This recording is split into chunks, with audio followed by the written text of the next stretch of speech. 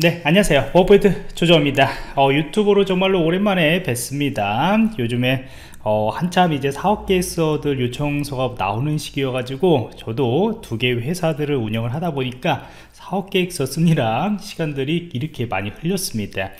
어, 여러분들은 절대 사업하시기 하지 마세요. 정말 힘듭니다 자 오늘 여러분들하고 이야기할 것은 이제 보안 뉴스에서 나온 어, 우리가 뉴스 동향을 한번 좀 살펴볼 것이고 이 안에 있는 단어들 하나씩 좀 설명을 좀 드리도록 할게요 우선 딥웹에서 31개 한국 사이트에서도 약 한 13만 정도의 개인 정보가 팔렸다 이렇게 나오는데 어, 최근에 이제 보안 뉴스들을 보면은 이 딥웹이라고 하는 이야기가 좀 많이 나옵니다. 그래서 이 딥웹이라고 하는 것에 대한 단어는 뒤에서 좀 설명을 좀 많이 드리도록 할 것이고요. 여기에서 보면 이제 한국 사이트에서 개인정보들이 샘플들이 공개가 되어 있다 이렇게 나옵니다. 물론 이것이 계정 정보들이 다 공개됐다고 해서 당장 어, 이제 사용할 수 있는 그런 계정들이라고 할 수는 없고요. 물론 일부는 이제 최신 정보일 수 있고 일부는 이미 예, 비밀번호가 많이 이제 바뀌었을 가능성이 있겠죠. 근데 여러분들도 보통 이제 사이트 돌아다니시다 보면은 3개월마다 한 번씩 이렇게 바꾸라고 이야기를 합니다 근데 자주 안 바뀌죠 저도 자주 안 바꿉니다 왜냐면은 보안을 하면서도 이 바꾸면 까먹어요 예, 잊어버리기 때문에 자주 안 바꿉니다. 그렇기 때문에 이제 개인정보가 예, 누군가 노출이 유출이 된다면은 그 비밀번호가 만약 해시값이 되더라도 그 해시값들이 또 풀리게 되면은 일부는 좀 사용할 수가 있다 라고 보시면 됩니다. 하지만 이제 데이터베이스가 우리가 개인정보부에서 데이터베이스를 항상 어, 이렇게 해시값으로 암호를 하라고 이야기를 하죠 어, 그만큼 어, 안전한 암호화로 되어 있으면은 이제 범죄자들이 그 정보들을 가져가더라도 풀릴 가능성이 아주 높지는 않다 하지만 언젠가는 풀린다. 이렇게 생각하시면 되죠. 그래서 이렇게 범죄자들이 유출된 것을 가지고 여기 보면은 뭐한 어, 한 13만 정도. 물론 이제 딱 봐서 이것이 클 수도 있고 그 다음에 좀 작게 느껴질 수가 있겠죠. 우리는 뭐 1억 명도 털린 그런 경험이 있기 때문에 13만 명 정도면은 음 그래요. 뭐 그렇게 생각할 정도입니다 이제는요. 자 그런데 이 13만 정보 갖고 이제 또 더 위험한 것들은 뭐냐면은 우리가 크리덴셜 스토핑이라고 해서 이거는 이제 A라고 하는 사이트에 서 이제 개인정보가 유출이 됐어요. 그러면 이제 다른 네이버나 다음 이런 데서도 동일한 아이디하고 패스워드를 사용할 가능성이 있다라는 것이죠. 사실 저도 몇 가지는 그렇게 좀 사용할 수밖에 없죠. 여기는 모든 비밀번호를 다 다르게 사용하면은 어, 제가 이제 수첩에다가 적거나 어디다가 이제 적어 놓으면은 오히려 그게 더 위험이 발생할 수도 있겠죠 그래서 이런 이미 유출된 아이디나 패스워드를 다른 사이트에다가 무차별적으로 대입해 가지고 로그인들이 성공이 되면은 또 그걸로 계속 개인정보들을 파고 파고 하면서 이렇게 어, 범죄자들이 사용한다 라고 보시면 됩니다. 자 그렇다면 위에서 이야기했듯이 이 딥웹이라고 하는 곳에 대해서 많이 나옵니다 이야기가요. 이 보안 쪽에서도 딥웹에 대해서 많은 관심들을 가지고 있습니다. 벌써 몇 년 전부터 관심을 가지고 있고요. 몇 개 회사에서는 이 딥웹이라고 하는 정보에 서 이제 개인 정보들 특히 이제 어떤 고객 서비스들 자신이 관리, 관리하고 있는 고객 서비스의 개인 정보들이 혹시나 유출되고 있는가 거래되고 있는가 이런 것들을 이제 계속 모니터링 하고 있는 그러한 어, 솔루션들도 개발을 하고 있습니다. 국내에서도 이 오신트에 관련된 것들은 많은 관심들을 가지고 있고요. 저희 회사 같은 경우에도 관련된 솔루션들을 또 제작을 하고 있고요. 어, 중요하죠. 어, 사실 이제 개인정보 이게 보안 쪽에서는 개인정보라고 하는 것들이 제일 중요하기 때문에요 하지만 디베에서는 개인정보가 아니고 이제 조금 이제 불법적으로 공유되고 있는 어떤 마약 같은 거나 뭐 총기류 같은 거 국내에서 뭐 총기류 많이 없겠지만은 특히 이제 마약 같은 경우에는 계속적으로 이슈가 되고 있잖아요. 네, 그런 것들이 좀 많이 거래가 되고 있다 이제부터요 자 그래서 이제 딥웹에 대해서 좀 이야기를 하게 될 건데 여러분들이 요 정, 요런 그 그림들을 한두 번 정도 보셨을 겁니다. 주간 조선에서 나온 것인데 이 그림이 제일 좀 명확하더라고요.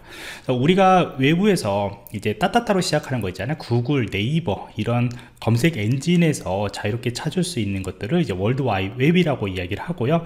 이거는 여기서 어, surface web이라고도 이야기를 합니다. 뭐 전문적인 용어라고 할 수가 있는데 surface web이에요. 한마디로 드러난 웹들 어, 정보들을 우리가 대중들이 항상 검색해서 어, 접근할 수 있는 어, 우리가 일반적으로 보는 그런 페이지들이라고 보시면 되는데 요거는 하나의 빙, 빙산의 일각이라고 보통 이야기를 합니다. 그게 어떤 말이냐면은 이 드러나고 있는 정보보다 이 숨어져 있는 정보들 이게 내부에서 회사에서 사용하는 그런 정보들도 있을 거고요. 그 다음에 검색되지 말아야 할 그런 정보들도 있을 거고 뭐 아니면 특정한 IP들만 접근할 수 있는 정보들도 있을 거고 뭐 이러한 여러 가지 정보들이 있을 거란 말이죠.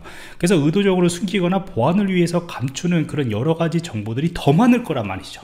우리가 드러난 정보보다 드러나지 않은 정보들이 훨씬 더 많을 겁니다.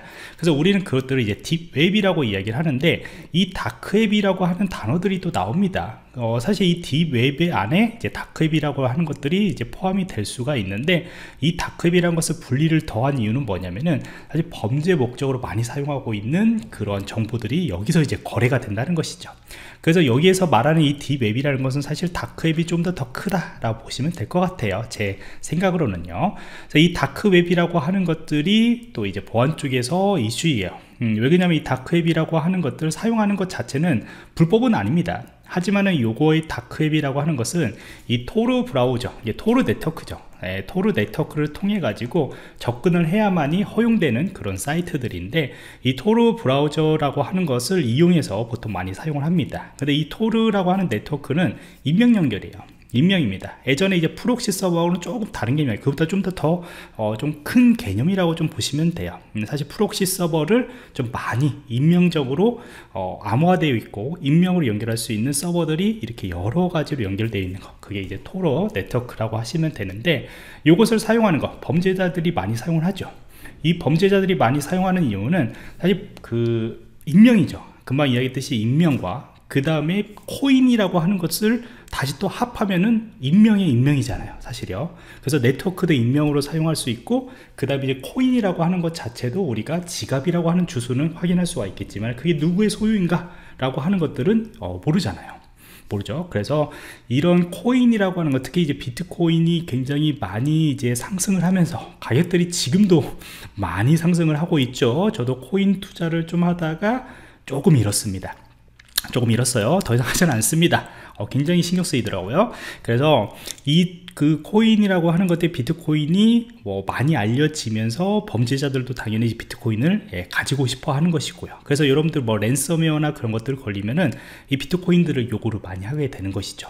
그래서 이 코인이라고 하는 것들이 이제 이 토르 브라우저 토르 네트워크 그 다음에 이 다크앱이라고 하는 것들을 단어들을 이제 대중들한테 알려지게 한 예, 그런 계기라고 보시면 됩니다 그래서 이 범죄자들은 개인정보들을 팔고 받을 때 이제 코인을 받는 거죠. 특히 이제 비트코인 같은 거를 좀 많이 받게 되는 거죠. 비트코인이 제일 유명하니까 사실요.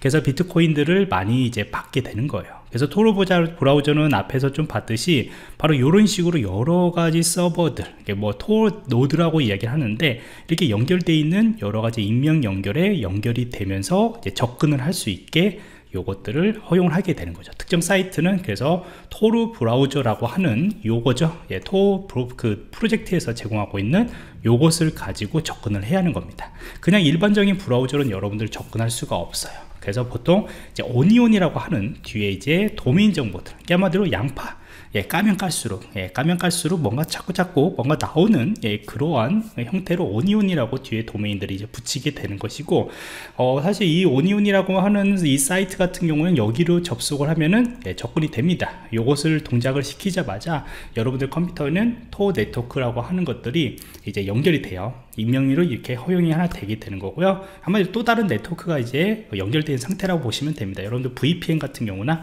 proxy 서버들 사용했을 때 아마 좀 경험을 해보셨을 겁니다. 그러면은 여기에 접근을 하게 되면은 접근이 됩니다.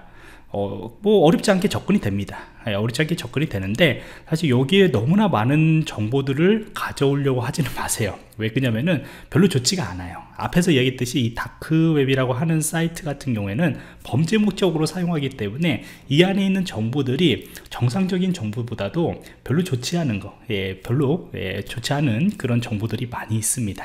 그래서 우리는 이제 보안 쪽에서는 이 개인정보들 한 게 한마디로 어, 우리가 관리하고 있는 고객 서비스의 개인정보들이 혹시나 이 다크웹 쪽에서 거래되고 있지 않은가 예전부터 오신트 이게 어, 구글 같은 경우나 네이버, 빙 그런 데서도 개인정보들이 혹시나 유출되고 있지 않는가 이런 것들도 검사를 했단 말이죠. 거기다 이제 플러스 다크웹 쪽에서도 혹시나 개인정보들이 뭐 거래되고 있지 않는가. 이것까지 더해졌다고 보시면 돼요. 하지만은 굉장히 많잖아요. 이 다크웹이라는 것은 아까 말했잖아요. 어, 빙산 일각이라고요. 우리가 앞에서 봤듯이 그것보다 너무나 많은 정보들 어, 그리고 이러한 여러 가지 사이트들이 대체 뭐가 뭐가 있는지도 쉽게 판단은 할 수는 없다 아, 그런데 이런 솔루션들을 그래서 많이 만들고 있다 라고 보시면 됩니다. 그래서 앞으로도 이런 딥웹 그런 말마저 다크웹이죠. 이런 다크웹에 이런 개인 정보들이 유출되는 사례들은 많이 많이 발생을 할 거다. 거기에 대해서 우리가 어떻게 대응을 할 것인지 거기에 대해서 좀 공부를 하시면은 앞으로 좀 도움이 많이 되지 않을까 이렇게 생각을 합니다